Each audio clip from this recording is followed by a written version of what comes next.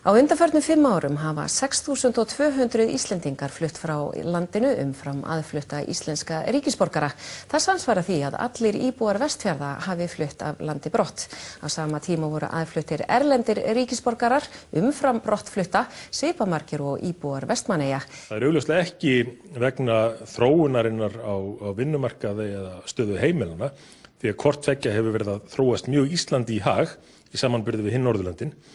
Það kann að vera að, að menn séu þá komnir í aðstöð til þess núna loksins, einhverjir sem hafa haft áform upp um að fara út, séu búin að koma sínum málum í það horf hérna að þeir, þeir geti flutt út. Svo er það kannski stóra máli sem liggur alltaf í loftunum og liggja í loftunum lengi, það eru húsnæðismálin.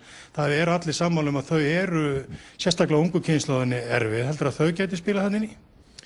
Það er ekki gott að segja, húsnæðismálin eru þetta mál sem að þarf að, að vinna í áfram en maður sér ekki alveg hvers vegna það ætti að vera auðveldara fyrir útlendinga að, að koma sér inn á húsnæðismarkaðin hér heldur en Íslendinga.